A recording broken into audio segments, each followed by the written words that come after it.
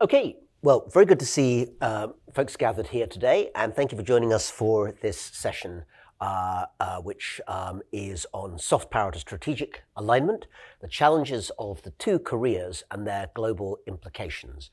Uh, my name is Rana Mitter. I'm the ST Lee Chair in US Asia Relations at the Harvard Kennedy School and have a tremendous interest in Korea. And for that reason, I'm delighted to welcome our speaker today. Uh, Dr. Yaena Kwon is uh, a journalist. She uh, operates across continents, uh, as well as being, of course, an expert and very much someone who has worked frequently in, in Korea. She is also uh, German and has worked for ZDF and WDR, amongst other significant media organizations. She is spending the current uh, year at the Weatherhead Center um, as a visiting fellow and is engaged in a politics which, uh, in a project which is exploring uh, Korea's place in the wider geopolitical context. We're going to hear some of that today. So it's a pleasure to welcome Yaena here. And what I'm going to do is ask Yaena if you would give us uh, a talk, uh, which will probably be about sort of 35, 40 minutes, something like that. And then we'll turn to Q&A, and uh, we look forward to a discussion of this important uh, topic. So welcome, and please do uh, uh take, the, uh, take the floor. Hello, good afternoon, everybody, and thank you very much, Professor Mitter, uh, for this kind introduction.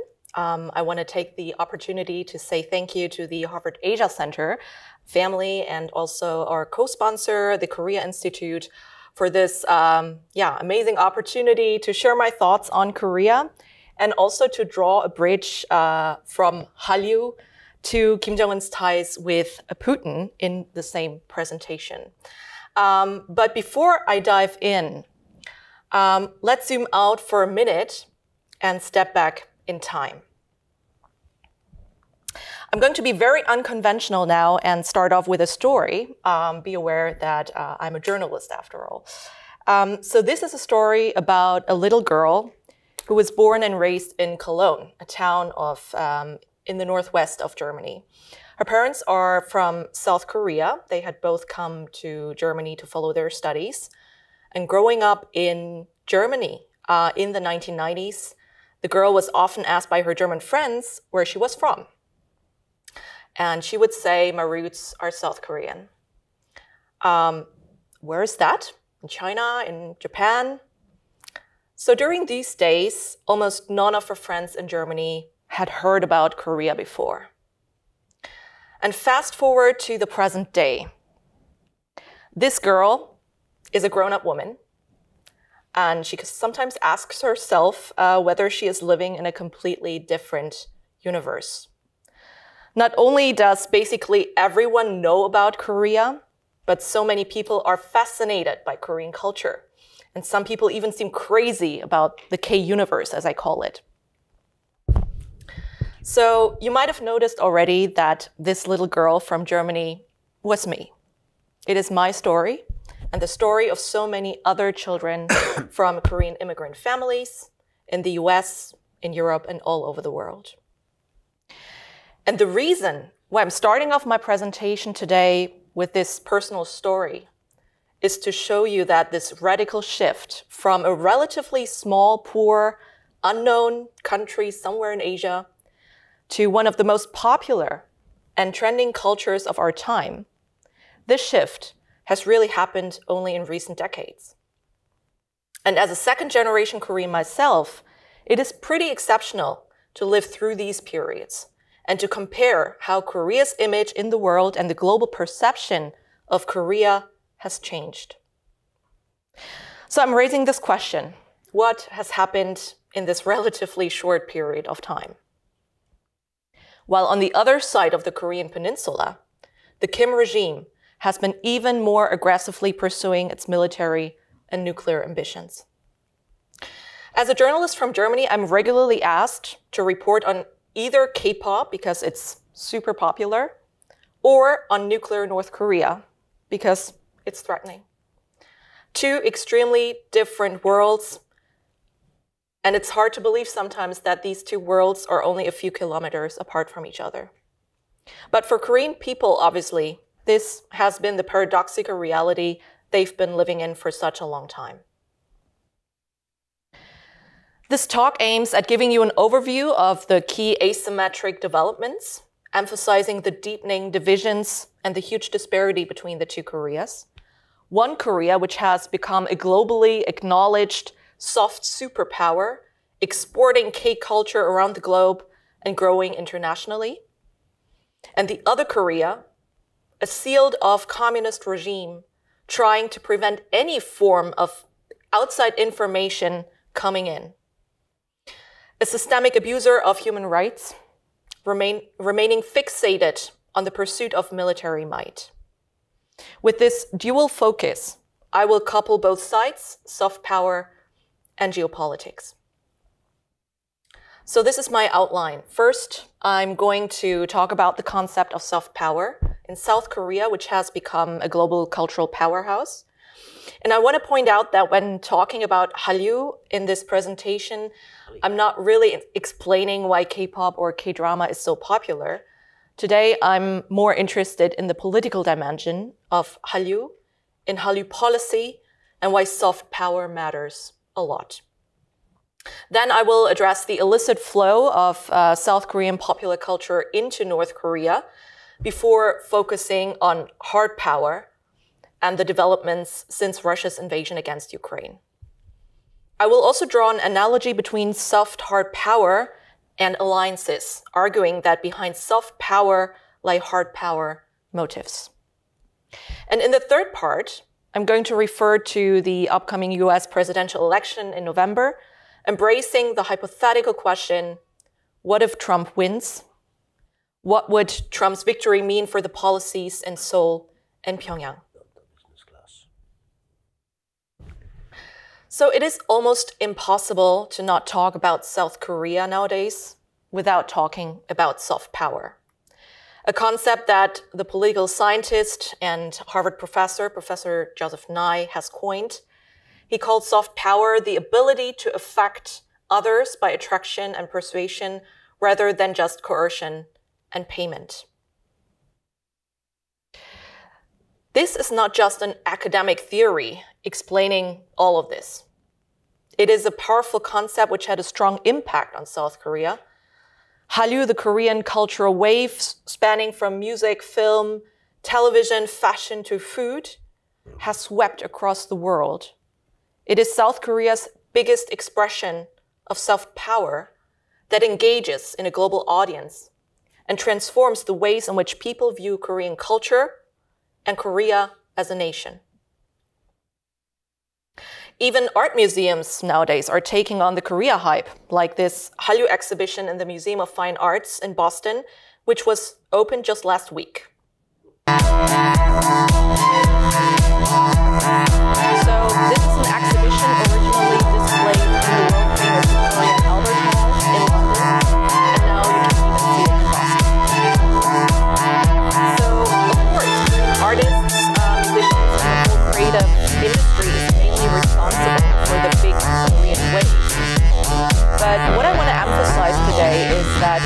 behind the success of South Korean cultural exports lies a very strong political strategy to make Korea big. It is hugely intentional, a highly calculated sector in the government, and of course, Hallyu was not an overnight success. So when did it all begin? For many non-Koreans, it all probably started off with BTS and Blackpink or Parasite and Squid Game. But in fact, it all began before that.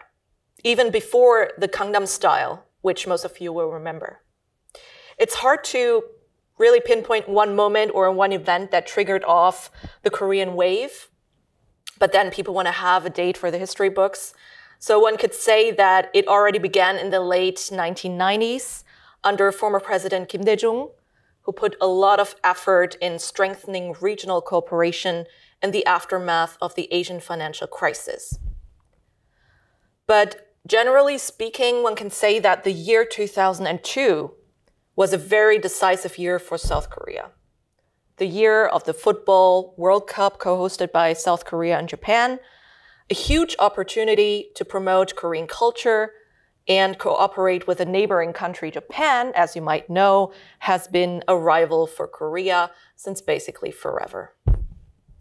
So 2002 was also the year when South Korean singer Boa took off in Japan, a key market in Asia, and became one of the first Hallyu stars. Um, Japanese people gradually began uh, showing interest for K-pop and also for Korea as a country. And this is really just a really super short summary of how Hallyu got started and how the global consumption of South Korean culture has been on a constant rise. So, why does South Korea care so much about soft power? First of all, it drives tourism and consumption, especially through K pop and its fans. Hallyu has hugely contributed to economic growth. According to the 2022 Global Hallyu Status, which is an annual report by the Korea Foundation and the Ministry of Foreign Affairs, there are about 178 million Hallyu fans around the globe. That's an 18 fold increase since 2012. And according to a 2019 study by the Korea Foundation, the overseas market for the South Korean pop culture industry doubled from 5.7 billion US dollars in 2015 to 10 billion US dollars in 2019. So the creative, uh, creative industry in South Korea generates billions and billions of money. So much money that the former South Korean president Moon Jae-in even awarded the group members of BTS the title of Special Cultural Envoys due to their potential for generating income for the country. According to the Hyundai Research Institute, the group was contributing an estimated 3.5 billion US dollars annually to the nation's economy by 2020. So it would not be an exaggeration to speak of the BTS effect. And even though the chances that you'll run into one of the members of BTS in Korea are not particularly high, young people do want to travel to South Korea and explore the country and eat the food and wear the fashion that their stars are wearing. In 2023, almost 4 million of all foreign tourists were aged 30 or younger. But even I know so many people who are older than 30 uh, who discover their passion for Korea and want to travel there one day. Hallyu has recent, really become one of the top policy priorities for South Korea, which has invested heavily in the creative industry and in the expansion of innovative K content. Last November, the Ministry of Culture came up with a very ambitious plan to increase Hallyu expansion. Within the next five years, they want to create a government fund worth 745 million US dollars in order to help the video content industry produce, as they call it, killer content and to enhance the global competitiveness of the industry even more. And in February this year, it announced that it will provide a record number of 1.31 billion US dollars in policy financing to boost Korea's competitive position on the global market. So the bigger the success, the more political it gets. K-pop idols nowadays seem to be the most influential ambassadors of our time. Be it the girl group Blackpink at the Buckingham Palace in London, becoming honorary members of the Order of the British Empire, together with uh, President Yoon Suk-yeol last November. The K-pop idol group Blackpink was awarded at the suggestion of the British government for the group's environmental advocacy.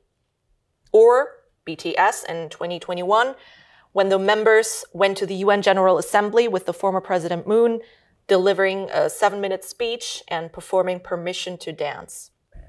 Oh, and of course, they also met President Joe Biden. Such a huge PR moment for K pop. Of course, there are many external factors which have driven Hallyu forward, like social media, obviously. And one big booster was indeed the COVID pandemic, which in the first place attacked global economy, including the South Korean market.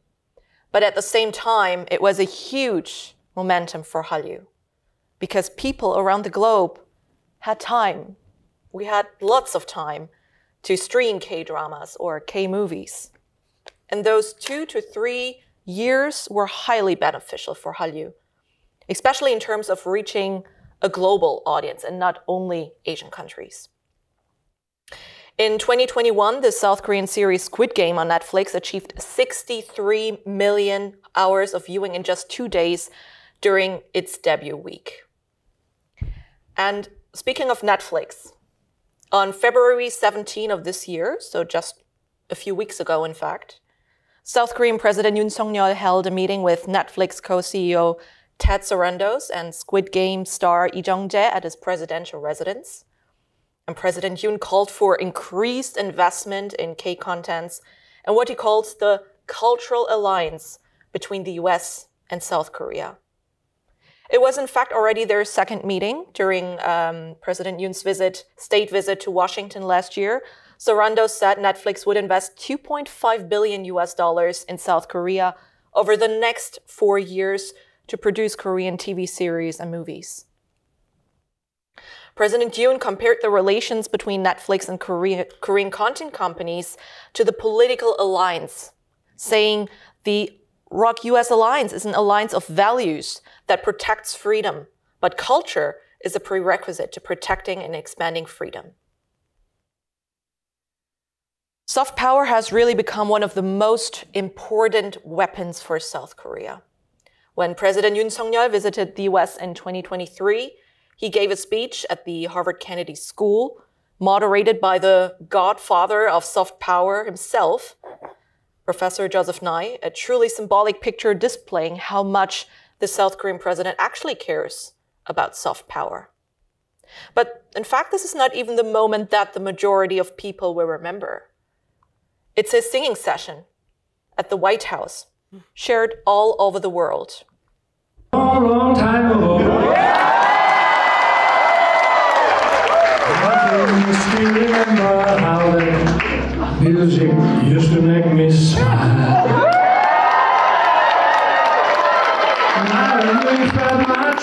So his singing skills might have been beneficial for but it was also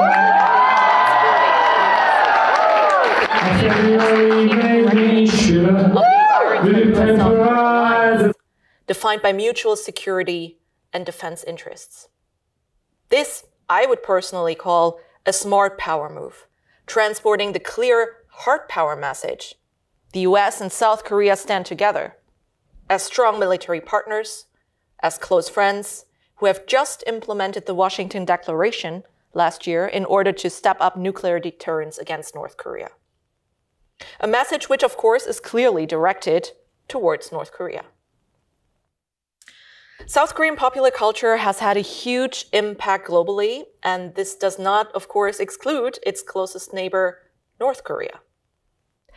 In fact, K drama, K pop, is extremely widespread in North Korea, which seems to be one of the biggest, if not the biggest, existential threat to the North Korean regime. It's an open secret that basically everyone in North Korea enjoys it, including government officials and including Kim Jong un himself. Back in 2018, after the Pyeongchang Winter Olympics in Pyeongchang, Kim Jong un invited South Korean musicians and K pop artists to Pyongyang and even confessed to be a fan of the girl group Red Velvet himself. But today, six years later, he talks completely differently about K culture, labeling K pop as a vicious cancer corrupting the youth of his country. Squid Game, according to North Korean propaganda, shows the rotten society of South Korea.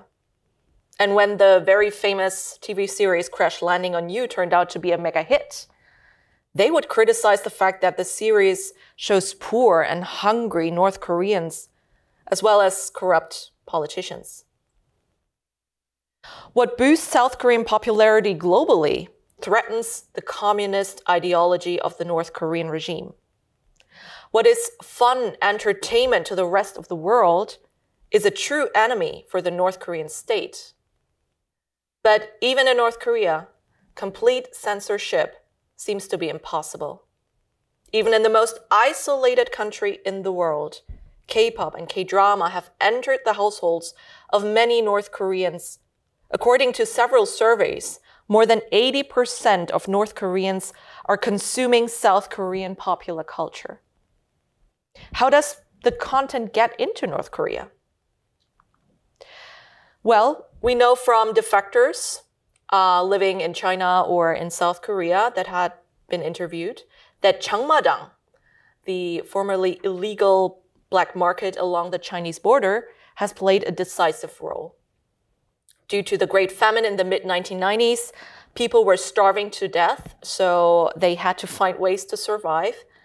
Um, and that's how this illegal market was created. All sorts of goods, including South Korean K drama or K pop music, were traded illegally into North Korea, mostly shared on USB sticks among family and close friends. But since 2018, Kim Jong un himself officially recognized the market and collects money. So the so-called Changmadang generation, young people that didn't really experience the communist distribution system, they pretty much grew up with South Korean popular culture.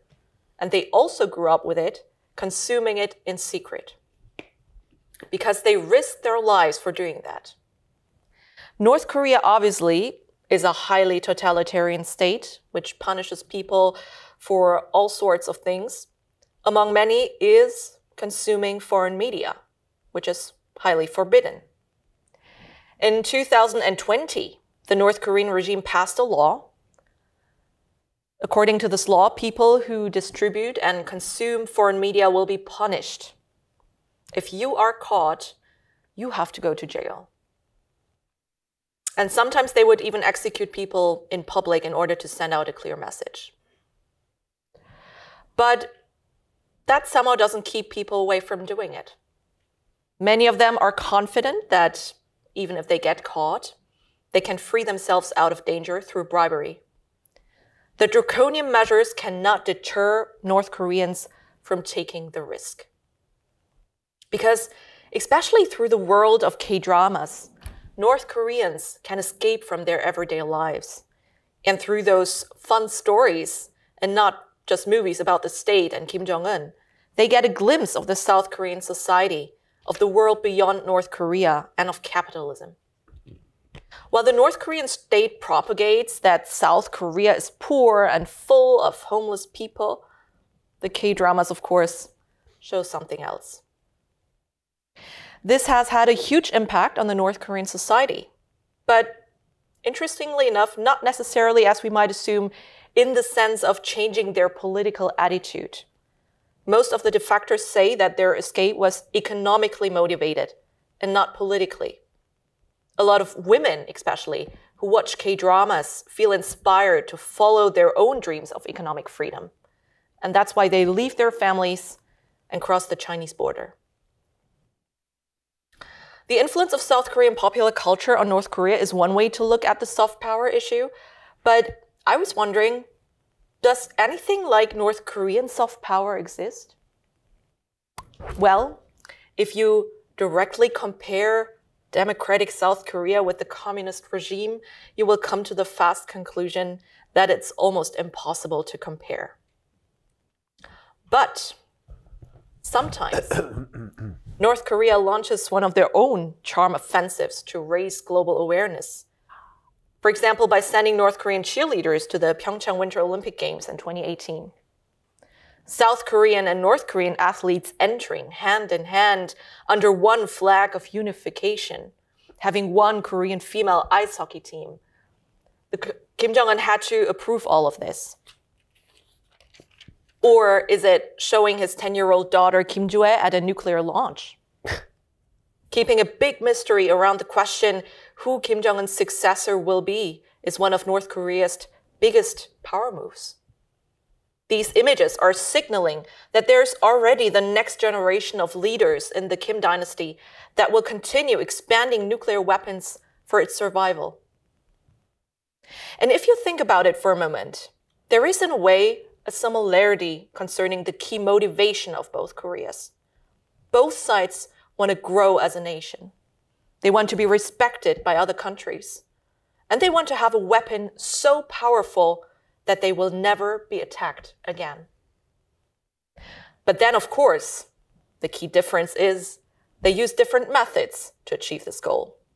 While South Korea has, has primarily expanded its soft power and maintained the ROK US alliance for seven decades, North Korea has continuously enhanced its arsenal of weapons. The diversification of its missiles, which shall be launched faster and be more difficult to locate. The South Korean government keeps investing in Korean contents while North Korea is investing heavily in nuclear technology. According to their own information, North Korea is investing 20% of their state budget into the military buildup. And until today, North Korea has tested more than 220 missiles in total. It's hard military power they want to grow, with the ultimate goal to be officially accepted as a nuclear state with ICBM capability to reach the US. Since 2021, we've been observing accelerated military modernization and 2022, if you might remember, was the year with a record number of missile tests, more than 90 in total. Last year, we counted at least 36 missiles, uh, missile tests, including five ICBM tests.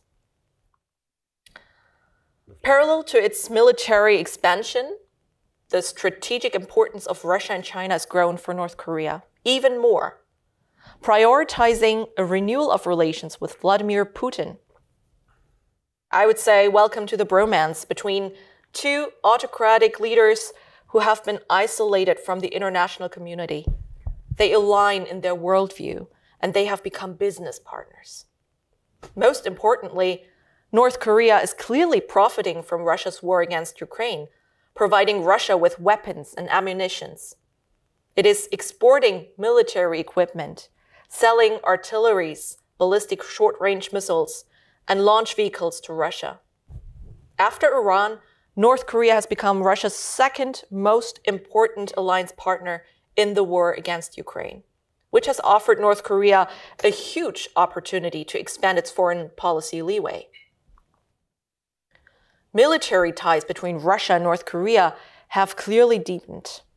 In July 2023, North Korea tested an ICBM of the type Hwasong 18, which, according to the former National Security Advisor Kim Song-han, is practically identical with the Russia missile type SS-27. This shows that both countries have already cooperated in the field of weapon technology. According to analysts, North Korea might have received support from Russia from Russian rocket scientists and investigative researchers from the British organization Conflict Armament Research that investigate supply chains of arms deliveries on behalf of governments have, support, have reported that Russia fired at least 24 North Korean ballistic missiles of the relatively new type KN 23 and KN 24 on seven Ukrainian battlefields. This picture shows uh, a missile type of KN 24 half of them launched between the end of December last year until the beginning of February of this year. Apparently, around 75% of electronic missile components were produced in the US and Europe over the last three years. According to the think tank CSIS and Beyond Parallel satellite imagery, North Korea sent more than 2.5 million artillery shells to Russia until the beginning of February. This is almost the entire amount of shells that the US, uh, that the EU has promised to Ukraine, but which has only partially arrived until now. And through this military cooperation, North Korea has received thousands of containers with food and fuel assistance, but also military knowledge and possibly even nuclear powered submarines.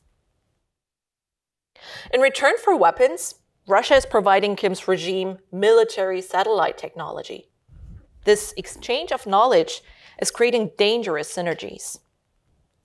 Last year, North Korea launched three satellite three satellites. The first two attempts in May and in August failed, but the third one in November succeeded. And this came shortly after Kim Jong un's visit to Russia in September 2023. Together with Vladimir Putin, Kim Jong un visited the Vostochny Cosmodrome, Russia's most modern spaceport. A highly symbolic meeting, clearly showing what Kim Jong un wants in return for his weapons. He wants to enhance North Korea's military satellite capability because it would give North Korea real time information about US and South Korean military activities on the Korean Peninsula. The Axis Moscow and Pyongyang is a huge concern for the entire world. North Korea seems to be seems to successfully evade UN sanctions against ballistic missiles and by accepting weapons from North Korea. Russia itself has been assisting Kim's regime in violating UN resolutions even though being a member of the UN Security Council itself and having supported punitive actions against North Korea in the past. North Korea's reorientation towards closer cooperation um, goes hand in hand with a shift in tone towards South Korea.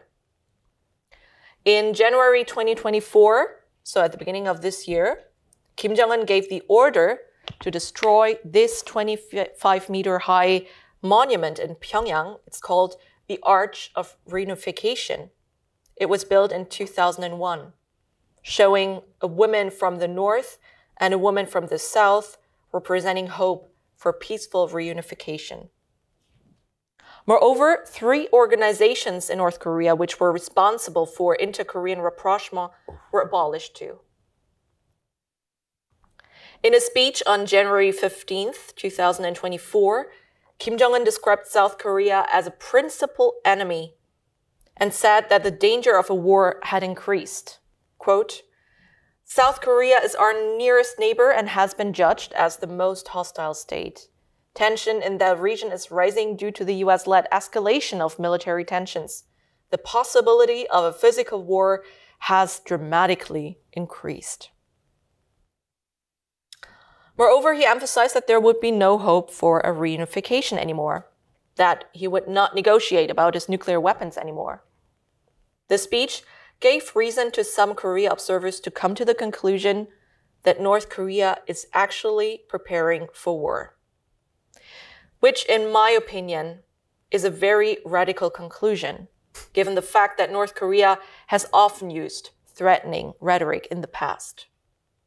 Even though Kim Jong un says right now that they reject reunification, we don't know exactly if they literally mean it or if they're simply unwilling to discuss reunification under the current South Korean administration and waiting for the moment to come when they feel that they have a better negotiation partner on the other side of Korea.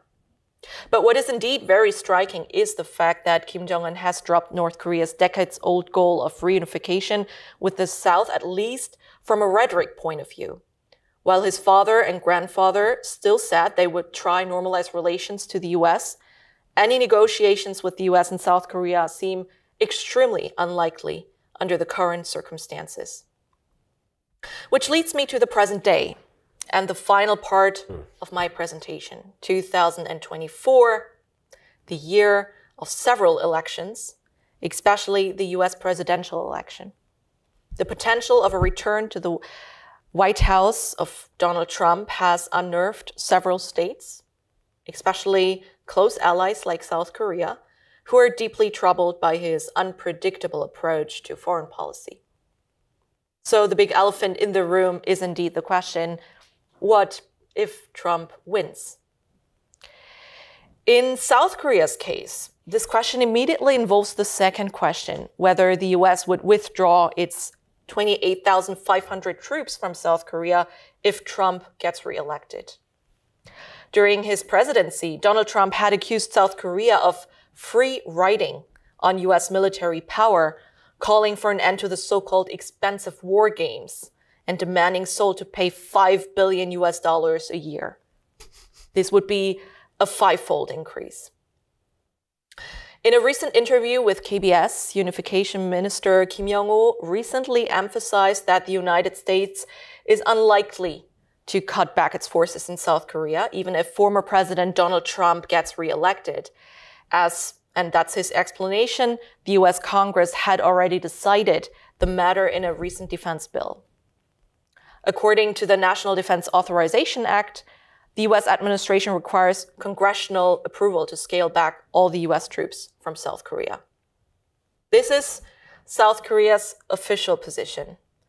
But of course, the head of state in the US will have a major impact on the US South Korea alliance. Any form of escalation in the debate whether the US should withdraw all its forces from South Korea and also Japan would have a huge effect. Once Russia and China sense any hesitation in the US government, in the US commitment for collective defense, the deterrent power of alliances could decrease. South Korea will, of course, have to work with any government in the US, whether under Trump or Biden, but it is highly doubtful whether the alliance can remain completely unchanged because of solid support from the US Congress. Of course, all US allies will closely follow the campaign in the next few months, and for the current Yoon government, Biden would be the desired president, in my opinion. But the mere fact that Trump is running for office again has already put the South Korean government under pressure. It has already initiated an early start of defense cost sharing talks with the US, almost two years before the expiration of the current special measures agreement, the so-called SMA, which regulates how the two sides split the bill for keeping the American troops stationed in South Korea. Since 1991, the SMA, the Special Measures Agreement, is renewed every two to six years. And the current SMA was signed in April 2021 after Joe Biden won in the 2020 US presidential election. And the unusually early start of negotiations now reflects South Korean concerns that if Trump wins, the cost sharing issue could become a major conflict between the allies. And under the current scenario, some people even say that South Korea is running a race against the inauguration clock. If Trump wins in November, Seoul will likely seek to conclude the talks before he is sworn in in January 2025. And if Trump loses in November, they will probably have more time to negotiate greater concessions from President Joe Biden. But Trump's tough stance on defense cost sharing is not the only concern. There are deep concerns that he might not share South Korea's threat perception. How will Trump deal with North Korean nuclear issues? So far, Yoon's policies have been closely aligned with those of the Biden administration. And if Trump wins and tries to unilaterally improve relations with Kim Jong un, this would run contrary to Seoul's North Korea policy strategy. And such a scenario could create friction with the Yoon administration and more so with the overall US South Korea alliance. And inside South Korea, this would stir debates around the question whether it should enhance its defense capabilities or even go nuclear. And what is North Korea's point of view? Well, North Korea is certainly waiting out the election in November while fostering the renewed cooperation with Russia. But one might say that Donald Trump would be more favorable for Kim Jong un's interests. He met Kim Jong un three times during his time in office. In 2018, Trump announced that the US military would stop joint military exercises on the Korean Peninsula and he was also the only American president so far who introduced the idea of withdrawing the US troops from South Korea. Although the 2019 Trump Kim summit in Hanoi, Vietnam did not turn out to be a success, the North Korean leader probably thinks that a victory by Donald Trump would give him another chance for resuming negotiations. In Pyongyang's view, the current US South Korean policy toward North Korea is much worse than Trump's North Korea policy.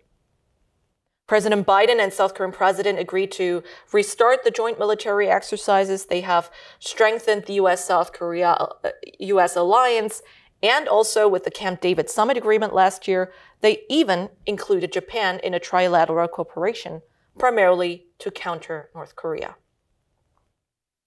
Trump seems to be more amenable to North Korean interests, and he would possibly create a rift in the Biden Yoon bromance and weaken not only the alliance between South Korea and the United States, but even challenge the strengthened trilateral ties with Kishida, which is exactly what North Korea favors. Until the US elections in November, North Korea will most likely to continue to increase tensions with South Korea and the US. Uh, because from Pyongyang's point of view, the more they increase tensions now, the more they can scale back during negotiations, negotiations with Trump in case he becomes president. And Trump, again, would most definitely see this as his personal success to provide peace. And the ultimate goal of North Korea would be to reach an agreement this time, unlike in Hanoi. So let me conclude my talk about Korea. From past experiences, North Korean provocations have sometimes created windows of opportunity to restart diplomacy with the United States. But this is not really likely to happen given the negative signal sent by North Korea. So, under these circumstances, tensions on the Korean Peninsula have intensified for the last few years and will probably intensify even more during the US election year. And there is little to no prospect of inter Korean dialogue. I've chosen this picture from the very famous uh, TV series that you might know, Crash Landing on You, as a metaphor. The two Koreas remain so close and yet so far away. While South Korea has become a powerful player on the global stage and a soft superpower that keeps expanding its capabilities to attract and persuade, North Korea, on the other hand, is a pariah state, constantly fixated on its hard power alliances. They don't align in power interests at all, nor in political alliances. North Korea's international isolation and expanded collaboration with Russia are the ultimate forms of misalignment between the two Koreas. The core fear of the regime, of the North Korean regime, as a US led reunification by absorption but in fact, for the majority of the South Koreans nowadays, the mere idea of a unified country seems highly, highly unrealistic. A love story like in Crash Landing on You, which might feel really good on screen, is certainly not in the paradoxical reality they've been living in for such a long time. Thank you very much for your attention, and I'm really looking forward to a Q&A session.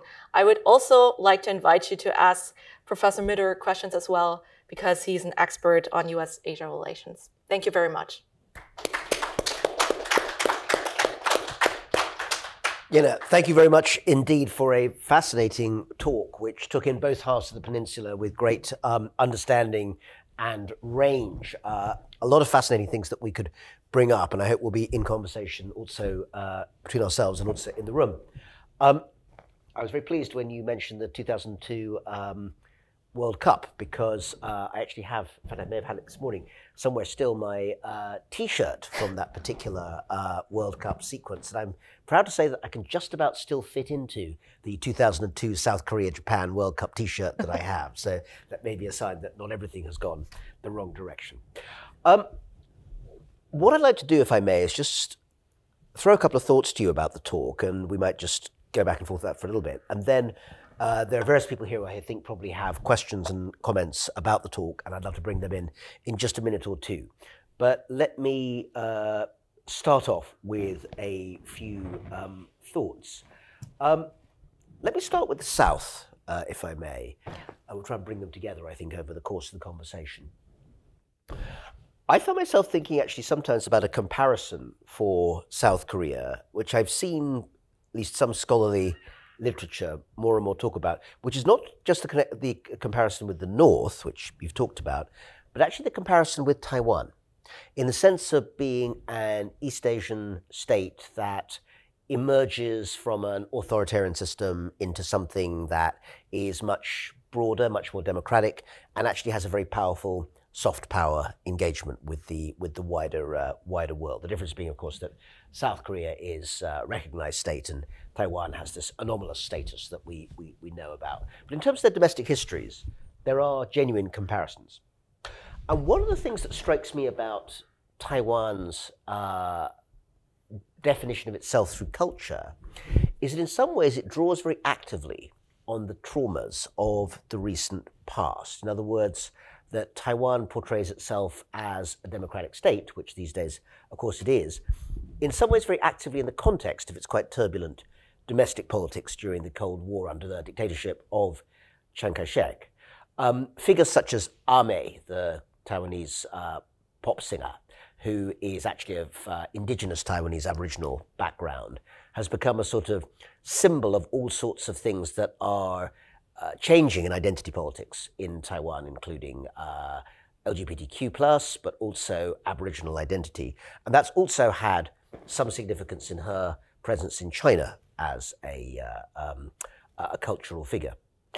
So I found myself wondering is there any sense in which any of the Hallyu soft power you're talking about incorporates or engages with Korea's, South Korea's recent traumas? I mean, I, the point of comparison that came to me is the way in which um, uh, Taiwan's uh, uh, sort of original um, trauma in 1947 of uh, the uh, persecution and, and uh, murder of many political activists way back in the 1940s, then came back to haunt Taiwan in the 1980s and 90s during the period of democratization.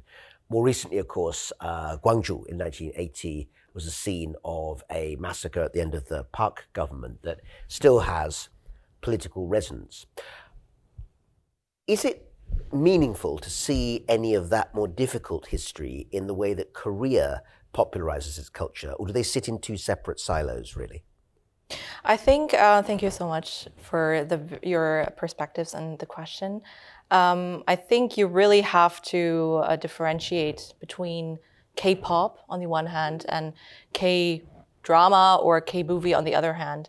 I think um, I, I'm not really aware of any K pop songs that would um, directly address those uh, traumatic issues or history issues. Mm. But I know several Korean dramas and Korean movies that would um, make this as a topic.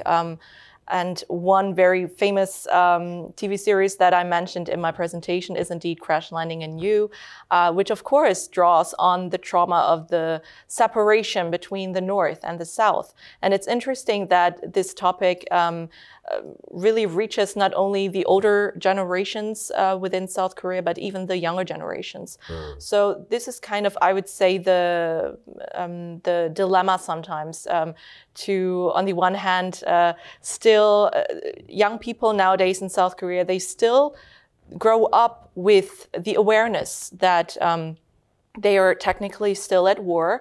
Uh, we have, for example, also the um, uh, obligatory military service that all the young men still have to go through. And even after the military service, they have to stay reservists for eight years and go for trainings uh, once a year. So it is still very much aware. But of course, a challenge is that the past, uh, the very traumatic past that our grandpa- uh, grandparents' generations experienced, it of course uh, fades more and more.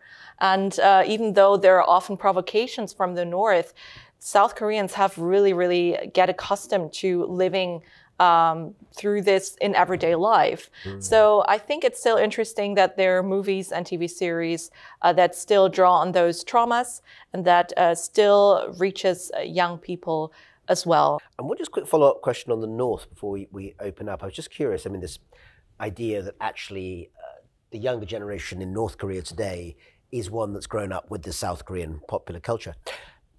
What do we know, if anything, about the technicalities of how they access and view it? I mean, presumably it's not possible, or is it possible to use uh, cyber techniques to get streaming services? So is it done on DVDs, or you know, how actually do you do this if you're going to do this in North Korea? Mm-hmm.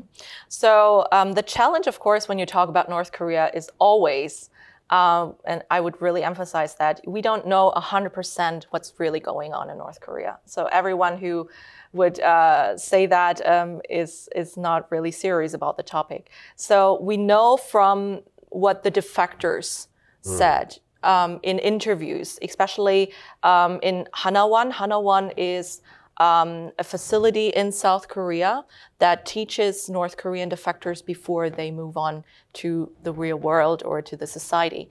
And in those, um, Hanawon did several surveys and interviews. And asked, of course, the defectors uh, how it's possible to consume those products um, in this very isolated country. Right. And we know from then that um, they would often exchange uh, those products which are shared on USB sticks. Oh. So that was also my first thought. Do they do it on DVDs or on CDs or whatever, like we uh, used to do in the past?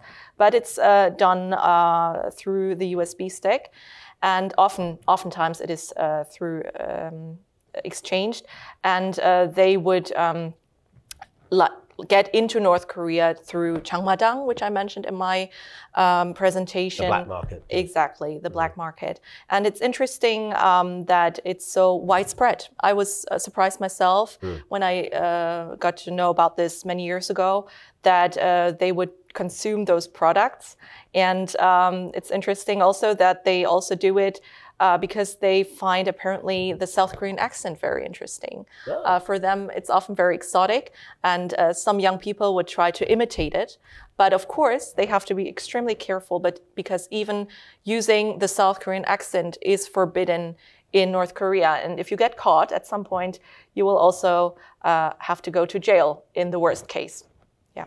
Okay, thanks very much. Uh, yeah, very, very fascinating insights um, there. Um, could we open up to the room here? Uh, any questions or comments that you have on the talk for uh, Yaena? Must have been Koreanists. Yeah. Uh, hello. Um, I'm curious about what you mentioned about North Korean or South, sorry, South Korean media being being consumed in uh, North Korea because I feel like one of the long-standing questions about Korean reunification is if, uh, since North and South Korean cultures have been separated for so long, if they can mesh together and create a cohesive society. Um, so I'm just wondering, would South Korean media, or as it is right now, would it be effective in, uh, I guess, if reunification ever happened in, mm. in helping create that bond? Yeah, thank you so much for the question. Um, I think this is like a very um, normal assumption that we uh, would have. Like, if those North Korean people consume those products and they see capitalist South Korea, capitalist South Korea, and seeing how the people on the other side live so well, they're not hungry, um, and they are a lot wealthier than themselves, uh, would that not change their ideology? Automatically, like in a very um, uh, creative way. But it's very interesting also, again, from what we know from defectors' interviews, that most of um, the North Korean defectors who decided to come over to South Korea, they didn't do it because they believed South Korea is politically so much better than North Korea. In fact, it's surprising that um, service uh, from the Hanawon say that uh, around 50% of the North Korean defectors, they would still prefer North Korea,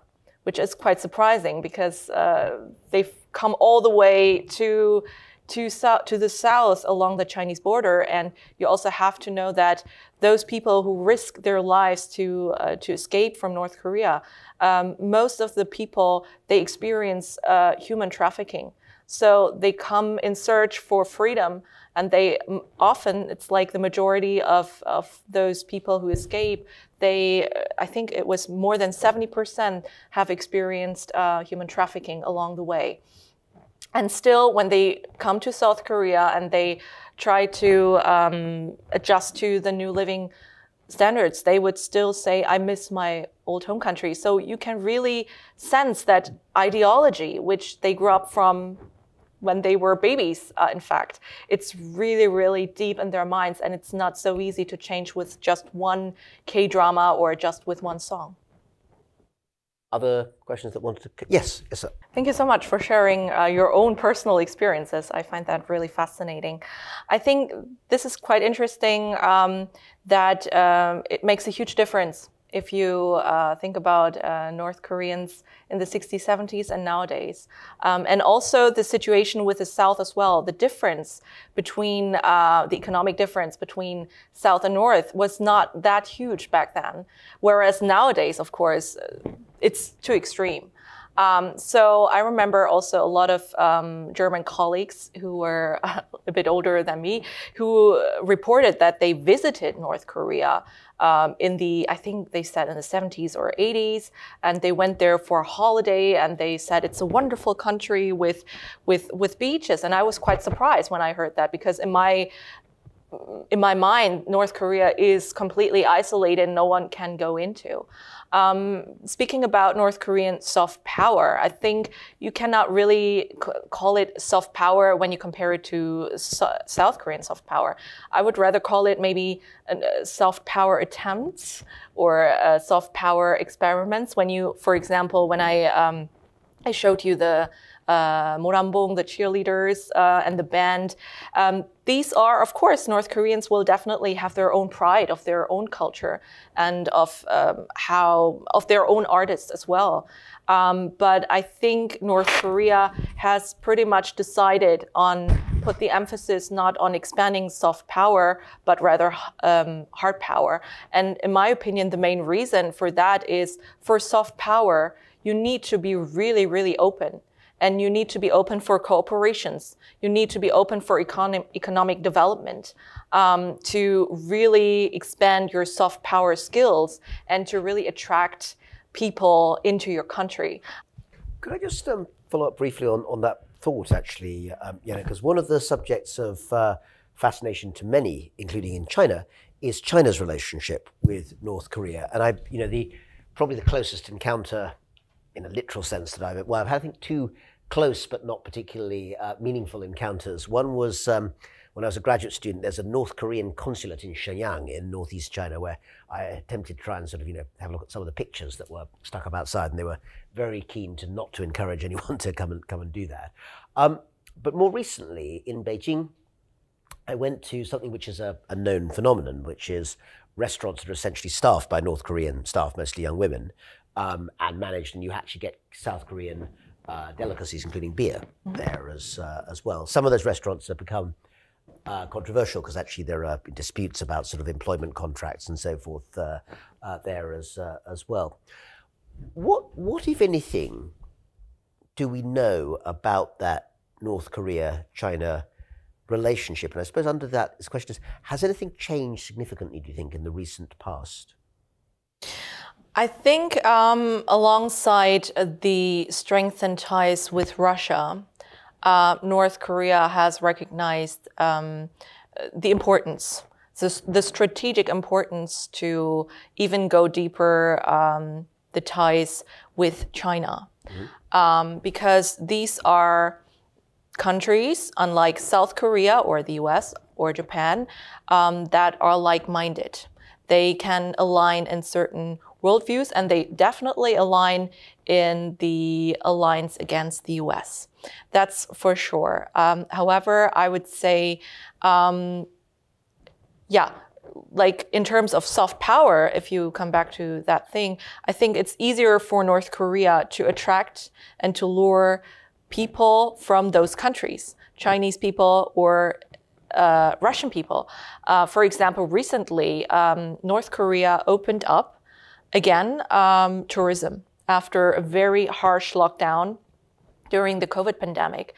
And the first people they let in uh, were only Russian tourists.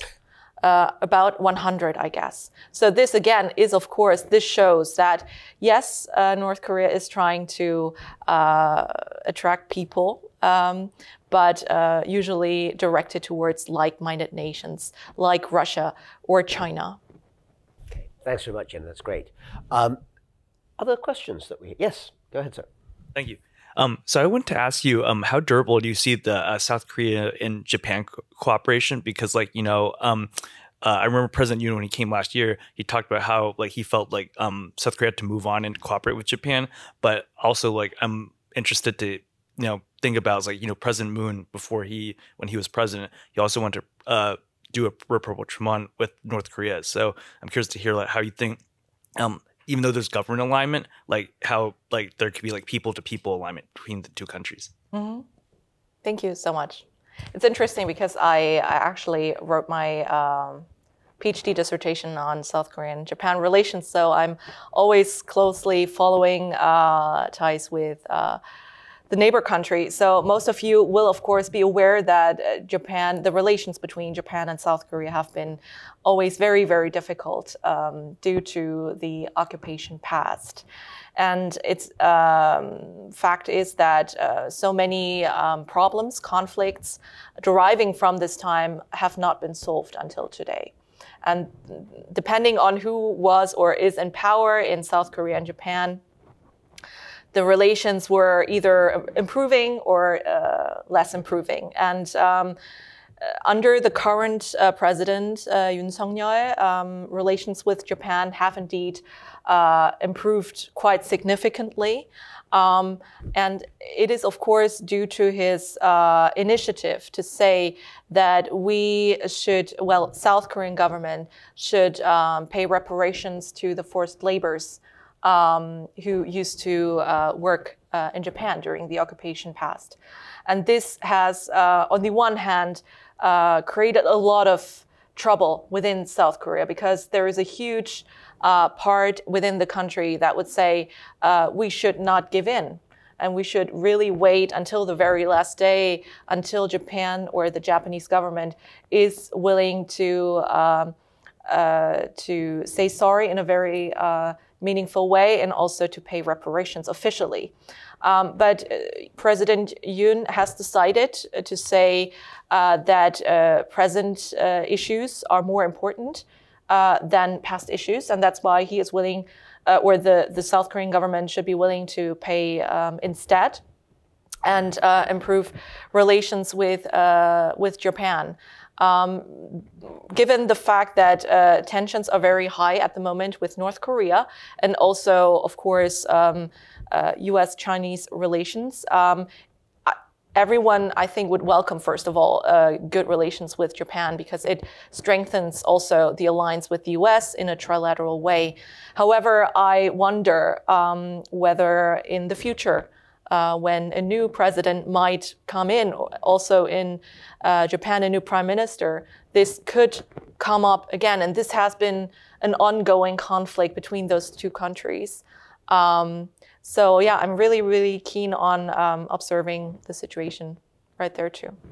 Really, in terms of the Korean um, mm-hmm. peninsula, it seems to me that I mean, when you talk about intensified tensions, you meant between yeah. the two Koreas, I think. Yeah, right? yeah, yeah. And I was thinking, is, is that something that you see intensifying? Um, I mean, further. D- during yeah, the I, U.S. I, election mean, year. Yeah, yeah. Oh, yeah, absolutely. I would okay. assume that this you is do. going on because North Korea has just uh, realized how powerful uh, and beneficial uh, the uh, renewal of mm. cooperations with Russia and China is. And this, of course, is uh, absolutely uh, against South Korean interests. Mm-hmm. Um, South Korea has pretty much aligned with the US uh, when it comes to, for example, Russia's war against Ukraine. So this is co- completely asymmetrical. Um, uh, Kim Jong Un aligning with uh, the dictators, uh, the two dictators, and South Korea aligning uh, even more with um, the US and also Europe, in fact. Um, and also, I think uh, it's pretty uh, common what we see from the past that North Korea often uses this um, as a tool right. to intensify and to do more provocations during U.S. elections, um, and also, uh, yeah, in front of elections anyway. And my guess is that uh, North Korea these days is fairly sure that China is not going to push in the direction of anything like unification uh, because it has relations with both Koreas. It has mm-hmm. Uh, important economic uh, ties with South Korea. And there is no political interest in China in getting a reunified Korea that would not be essentially uh, a China friendly state. And so they're unlikely to sponsor, I think, anything in that, that direction. So uh, I think we're unlikely to, to see that. I agree with you.